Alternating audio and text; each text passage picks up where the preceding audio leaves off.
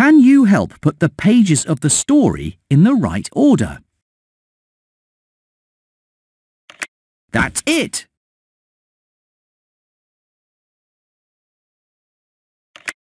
This story is all mixed up.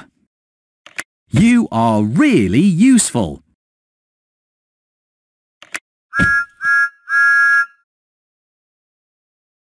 You fixed it. Now it's story time.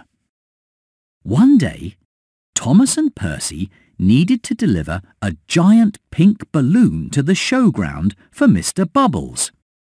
On the way there, the wind blew the giant pink balloon away.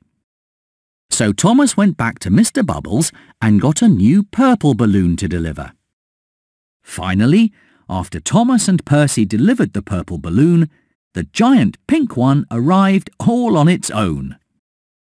The end.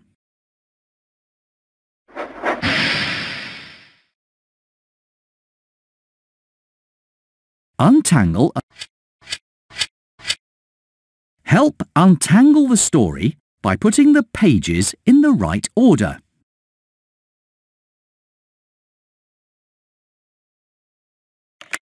That's it!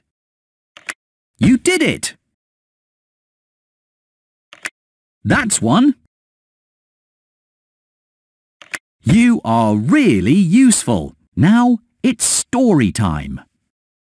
One morning, James needed to bring Farmer McColl's sheep to the fair to have their picture taken for the paper. James had to go through a large, muddy puddle on the way and was worried that he and the sheep would be too dirty for the photograph.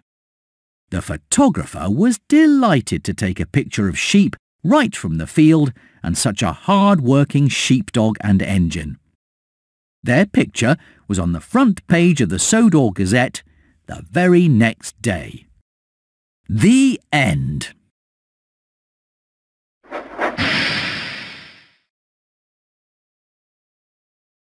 Untangle